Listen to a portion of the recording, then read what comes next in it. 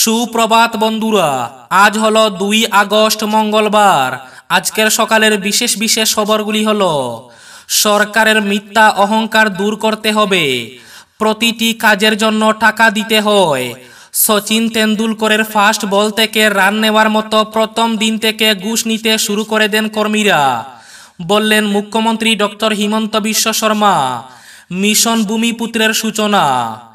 এবার অনলাইনে আবেদন করলেই ত্রিশ দিনের মধ্যে মিলবে জাতিগত প্রমাণপত্র তফসিলি জাতি উপজাতিদের অনলাইনে জাতিগত প্রমাণপত্র আগামী আট আগস্ট থেকে প্রতিটি স্কুল প্রদানের হাতে আবেদনপত্র চারটি বড় ঘোষণা মুখ্যমন্ত্রী ডক্টর হিমন্ত বিশ্ব শর্মার বিস্তারিত থাকবে প্রতিবেদনে আগামী পাঁচ আগস্ট লোককল্যাণ দিবসে পুরস্কৃত হবে নিরানব্বই জন সরকারি কর্মী রাজ্য স্তরের দশ জন বরাক উপত্যকা থেকে টাই পেলেন এগারো জন কর্মী দীর্ঘ বিরতির পর সোমবার থেকে শিলচর দিল্লি সম্পর্কক্রান্তি এক্সপ্রেসের যাত্রা শুরু দুই হাজার চব্বিশের লোকসভা নির্বাচনে বিজেপির প্রধানমন্ত্রী পদপ্রার্থী থাকছেন নরেন্দ্র মোদী ঘোষণা স্বরাষ্ট্রমন্ত্রী অমিত শাহের নতুন ফিচারে হোয়াটসঅ্যাপের চমক গ্রুপ থেকে মেসেজ ডিলিট করতে পারবেন অ্যাডমিনরা গ্রুপের যে কোনো সদস্যের মেসেজ ডিলিট করতে পারবেন অ্যাডমিনরা বিস্তারিত থাকবে প্রতিবেদনে শেষ হাসি আম্বানি হাসলেন জিওর হাত ধরে দেশে আসছে ফাইভ ইন্টারনেট পরিষেবা এক চাঞ্চল্যকর ঘটনা দোলাইয়ে জঙ্গলে মিলল নিকুজ গৃহবধূর ঝুলন্ত দেহ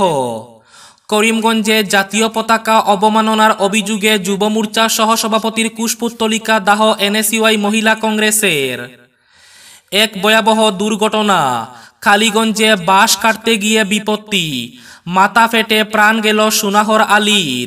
বিস্তারিত থাকবে প্রতিবেদনে শুধুমাত্র সরকারি চাকরির পেছনে না ছুটে কৃষি অথবা রাজনীতিতে প্রতিষ্ঠিত হন কৃতি ছাত্রছাত্রীদের পরামর্শ মন্ত্রী পীযূষ হাজারিকার মদ্যপ চালকদের কঠোর শাস্তি এবার সড়ক দুর্ঘটনা এড়াতে বিভিন্ন পদক্ষেপ পরিবহন বিভাগের রাজ্যে ভোটার তালিকায় নাম অন্তর্ভুক্তির জন্য নতুন প্রপত্র উন্মোচন শিলচর শহরের যানজট এড়াতে শহরের ই রিক্সাগুলোকে বাছাই করা হবে শহরে ই রিক্সা চালকদের ইউনিফর্ম পরিচয়পত্র এবং শেষ খবরটি প্রধানমন্ত্রী আবাসের তালিকায় নাম নেই ক্ষুদ্র শালচাপড়া জিপির তৃতীয় খণ্ডের জনতা তাহলে বিস্তারিত খবরে যাওয়ার আগে অবশ্যই ভিডিওটিতে একটি লাইক করে চ্যানেলটি সাবস্ক্রাইব করে পাশের বেল আইকনটি বাজিয়ে রাখবেন এবং ফেসবুক পেজটি ফলো করে ভিডিওটি অবশ্যই শেয়ার করবেন যাতে সঠিক তথ্যগুলো সবার কাছে পৌঁছাতে পারে এবার শুনুন আজকের খবরগুলির বিস্তারিত প্রথম খবর সোমবার তফসিলি জাতি উপজাতিদের অনলাইনে জাতিগত প্রমাণপত্র প্রদানের সূচনা করে সরকারের মিথ্যে অহংকার দূর করার কথা বললেন মুখ্যমন্ত্রী ডক্টর হিমন্ত বিশ্ব শর্মা সরকারি কর্মচারীদেরও সেই শিক্ষা দিয়েছেন তিনি সাধারণ রেশন কার্ড থেকে শুরু করে তফসিলি জাতির প্রমাণপত্র বিয়ের জন্য মাইকের অনুমতি রাস্তায় নিয়মভঙ্গের জন্য চালান থেকে রক্ষা প্রতিটি কাজের জন্য টাকা দিতে হয় প্রতিটি মুহূর্তে ভুক্তভোগী হন সাধারণ মানুষ আর খুববারে সরকারের উপর স্পষ্ট ভাষায় বলেছেন মুখ্যমন্ত্রী এমনকি তেন্ডুলকরের ফার্স্ট বল থেকে রান নেওয়ার মতো প্রথম দিন থেকে ঘুষ নিতে শুরু করে দেন কর্মচারীরা বলেও মন্তব্য করেন মুখ্যমন্ত্রী ডক্টর হিমন্ত বিশ্ব শর্মা সোমবার মহানগরের শ্রীমন্ত শঙ্করদেব কলাক্ষেত্রে আয়োজিত এক অনুষ্ঠানে মুখ্যমন্ত্রী ডক্টর হিমন্ত বিশ্ব শর্মা মিশন ভূমিপুত্রের সূচনা করেন তফসিলি জাতি উপজাতিদের এখন থেকে আর জাতিগত প্রমাণপত্রের জন্য ছুটাছুটি করতে হবে না কাউকে গুসও দিতে হবে না অনলাইনের মাধ্যমে আবেদন করলে ত্রিশ দিনের মধ্যেই মিলবে জাতিগত প্রমাণপত্র শনাক্ত করতে অসুবিধা হলে জাতিগত প্রমাণপত্র প্রদানের জন্য পঁয়তাল্লিশ দিনের সময় পাওয়া যাবে কিন্তু নবম ও দশম শ্রেণীর ছাত্রছাত্রীদের স্কুলেই দেওয়া হবে জাতিগত প্রমাণপত্র অধ্যক্ষের মাধ্যমে আবেদন করতে হবে জাতিগত প্রমাণপত্রের জন্য মুখ্যমন্ত্রী ডক্টর হিমন্ত বিশ্ব শর্মা আরও জানান মিশন ভূমিপুত্রে দুটো স্তম্ভ থাকবে আজ থেকে আর ম্যানুয়াল পদ্ধতিতে কোনো জাতি প্রমাণপত্র প্রদান করা হবে না আগামী আট আগস্ট থেকে প্রতিটি স্কুল প্রদানের হাতে আবেদনপত্র তুলে দেবেন জেলা শাসক সেই আবেদনপত্র পূরণ করে জেলা শাসকের কাছে ফেরত পাঠাবেন স্কুল প্রদান জেলা শাসক সেটা জাতিগত সংগঠনগুলির অনুমোদনের জন্য পাঠাবেন জেলা শাসকরা সংগঠনগুলির সঙ্গে বৈঠক করে জাতিগত প্রমাণপত্র প্রদানের জন্য একটি প্রটোকল প্রস্তুত করবেন এক মাসের মধ্যে সব আনুষ্ঠানিকতা পূরণ করে ডিজিটাল মাধ্যমে ছাত্রছাত্রীদের জাতিগত প্রমাণপত্র প্রদান করবেন জেলা শাসক প্রমাণপত্রে জেলা শাসকের স্বাক্ষর থাকবে এবং ডিজি লকারেও থাকবে প্রমাণপত্র অনলাইনে প্রমাণপত্র ডাউনলোড করে নেওয়া ছাড়া প্রয়োজনে ডিজি লকার থেকেও কাজে লাগানো যাবে পাঁচ আগস্ট লোককল্যাণ দিবসে পুরস্কৃত হচ্ছেন রাজ্যের নিরানব্বই জন তৃতীয় এবং চতুর্থ শ্রেণীর সরকারি কর্মচারী এর মধ্যে জন রাজ্য স্তরের এবং বাকি উননব্বই জন জেলা স্তরের রাজ্য সরকারের বহু প্রত্যাশিত লোককল্যাণ পুরস্কার দুই হাজার বাইশের জন্য নির্বাচিত সরকারি কর্মচারীদের তালিকা সোমবার প্রকাশ করা হয়েছে কর্মদক্ষতার নিরিখে রাজ্যের পঁয়ত্রিশটি জেলার মোট উননব্বই জন তৃতীয় এবং চতুর্থ শ্রেণীর কর্মচারী জেলা স্তরের এই পুরস্কারের জন্য তালিকায় রয়েছেন রাজ্য সরকারের সাধারণ প্রশাসন বিভাগের যুগ্ম সচিব সোমবার এ মর্মে সংশ্লিষ্ট জেলাশাসককে চিঠি মারফত পুরস্কার প্রাপক কর্মচারীদের তালিকা পাঠিয়েছেন বলে খবর পাওয়া গেছে এই তালিকায় বরাকের তিন জেলার এগারো জন কর্মচারী টাই পেয়েছেন হাইলাকান্দি জেলা থেকে নির্বাচিত চারজনই হাইলাকান্দি জেলাশাসক কার্যালয়ের কর্মচারী তাদের মধ্যে তিনজন সিনিয়র অ্যাসিস্ট্যান্ট পদে কর্মরত তারা হলেন প্রতাপ কৈরি নেপাল দেবনাথ রাজীব ভট্টাচার্য জঙ্গলে ঝুলন্ত অবস্থায় মিলল গৃহবধূর দেহ এ নিয়ে এলাকায় চাঞ্চল্য দেখা দিয়েছে ঘটনাটি সংঘটিত হয় দলাই থানা এলাকার ক্লেবার হাউস জিপির মেহেরপুর গ্রামে গ্রামের বাসিন্দা লব রিকিয়াসনের স্ত্রী টিনা রিকিয়াসন সোমবার দুপুর দুটা নাগাদ হঠাৎ বাড়ি থেকে বেরিয়ে নিকুজ হয়ে যান পরিবারের সদস্যরা তার খুঁজে বাড়ি থেকে বেরিয়ে পড়েন বাড়ির পাশে জঙ্গলে ঝুলন্ত অবস্থায় দেখতে পান তাকে পরিবারের পক্ষ থেকে খবর দেওয়া হয় দলাই পুলিশে এসআই সমর সিনহা সদল বলে ঘটনাস্থলে পৌঁছে দেহ উদ্ধার করে মরণোত্তর পরীক্ষার জন্য শিলচর মেডিকেল কলেজ হাসপাতালে পাঠিয়ে দিয়েছে এই ঘটনা সম্পর্কে তদন্ত অব্যাহত রেখেছে পুলিশ আগামী দুই হাজার চব্বিশের লোকসভা নির্বাচনে বিজেপি জেডিইউ একসঙ্গে লড়বে আর এনডিএর প্রধানমন্ত্রী পদপ্রার্থী থাকছেন নরেন্দ্র মোদী রবিবার পাটনায় অনুষ্ঠিত বিজেপির দুদিনের যৌথ জাতীয় কার্যনির্বাহী সভার সমাপ্তি অধিবেশনে একথা ঘোষণা করলেন স্বরাষ্ট্রমন্ত্রী অমিত শাহ দুই হাজার চব্বিশের লোকসভা নির্বাচনে সব সময় আকর্ষণের কেন্দ্রবিন্দুতে তাকে বিজেপির এবারের প্রধানমন্ত্রী পদপ্রার্থী কে হবেন প্রায় সকলেরই ধারণা ছিল এবার বুধ হয়ে প্রধানমন্ত্রী নরেন্দ্র মোদীর জায়গায় নতুন মুখ দেখা যাবে যদিও কেন্দ্রীয় স্বরাষ্ট্রমন্ত্রী অমিত শাহ সেই রহস্য বেদ করে জানিয়ে দিলেন দুই হাজার চব্বিশের লোকসভা নির্বাচনে বিজেপির প্রধানমন্ত্রী পদপ্রার্থী হচ্ছে নরেন্দ্র মোদী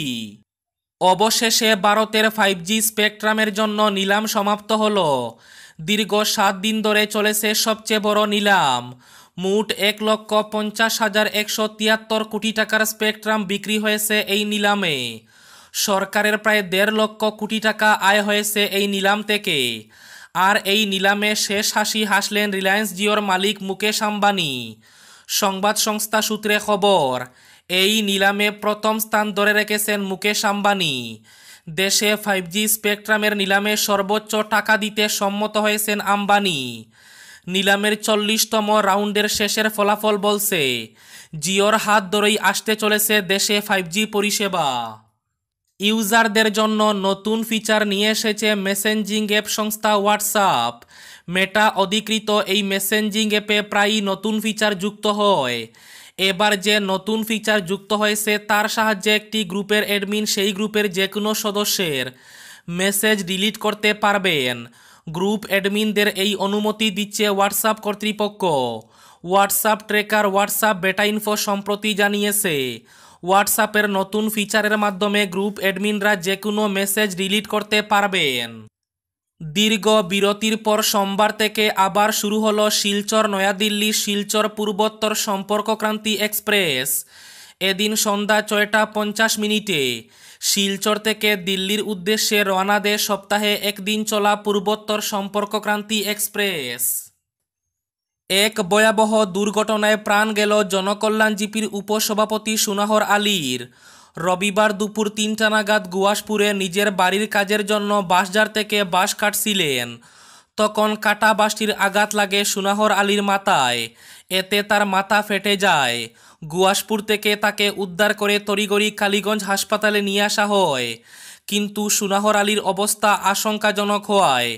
কর্তব্যরত চিকিৎসক দীপক কুমার দাস তাকে করিমগঞ্জ সিভিল হাসপাতালে পাঠিয়ে দেন দীপক কুমার দাস জানিয়েছেন বাসের আঘাত এতটাই ভয়াবহ ছিল যে তার মাথার হুলি পর্যন্ত ফেটে যায় তাই সুনাহর আলীকে তড়িগড়ি সিভিল হাসপাতালে নিয়ে যাওয়ার পরামর্শ দেন তিনি সিভিল হাসপাতালে বিভিন্ন পরীক্ষা করার পর তাকে রবিবার বিকেলে পাঠিয়ে দেওয়া হয় শিলচর মেডিকেল কলেজে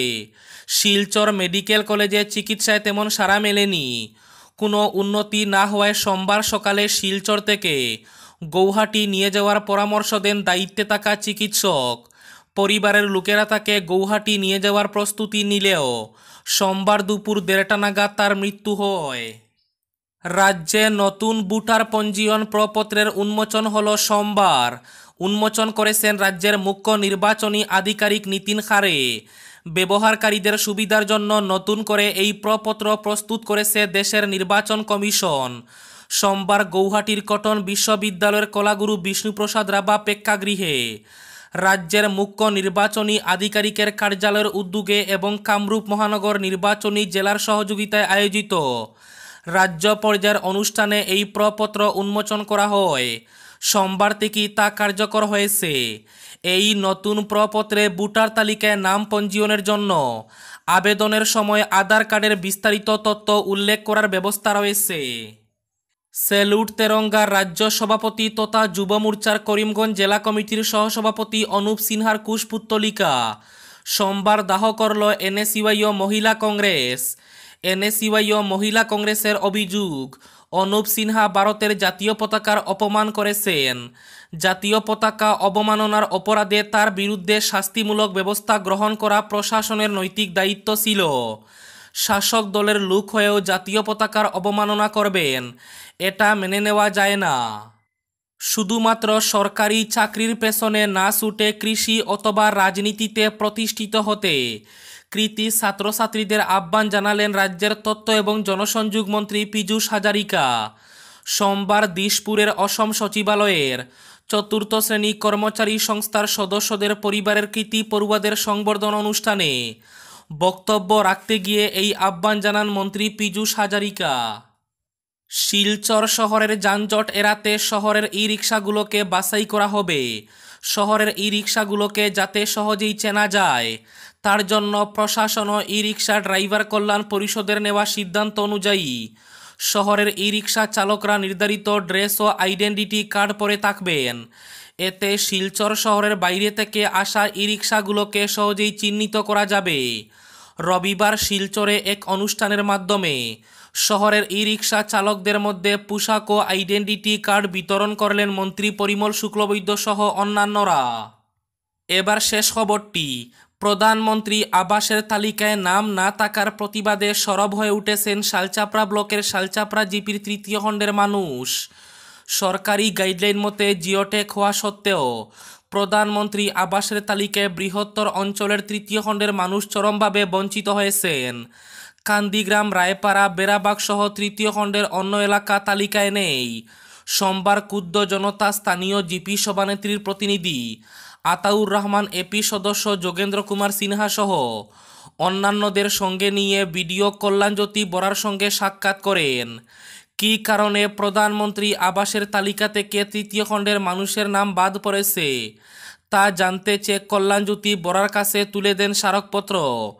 বিডিও বিষয়টি গুরুত্ব নিয়ে বিবেচনা করছেন কি কারণে নাম বাদ পড়েছে তা নিয়ে জেলা পরিষদ চিফ এক্সিকিউটিভ অফিসারকে জানাবেন এই ছিল আজকের সকালের বিশেষ বিশেষ খবরগুলি ভিডিওটি অবশ্যই লাইক করে শেয়ার করে দেবেন